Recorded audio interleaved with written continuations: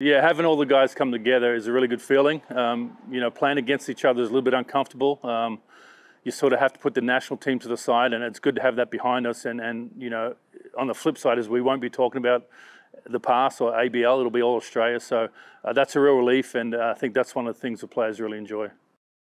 Yeah, first day in, guys are feeling a lot of uh, anxiousness, a lot of excitement. I think they're um, really motivated at this stage, and they're, they're, curious what each camp's going to look like. Each camp looks different, so um, they're really excited to be around the guys. Is probably that main emotion they're feeling now. Every Australian group's different, and um, every Australian group has its it's a little bit of a different identity, but we're all Australians, and that's the cool thing is we all come together. We all rep represent the past. We all represent the future and uh, we're all Australian. So ha having everyone together, it's a, it's a real uh, honour to be a part of any Australian team, really. Look, I want the guys to feel very comfortable all day, whether it's at the field or whether it's just sitting around the rooms at night. I don't want them um, looking over their shoulder, wondering what I'm doing, whether whether they, they're doing the right thing. I think I'm pretty clear with the rules and expectations.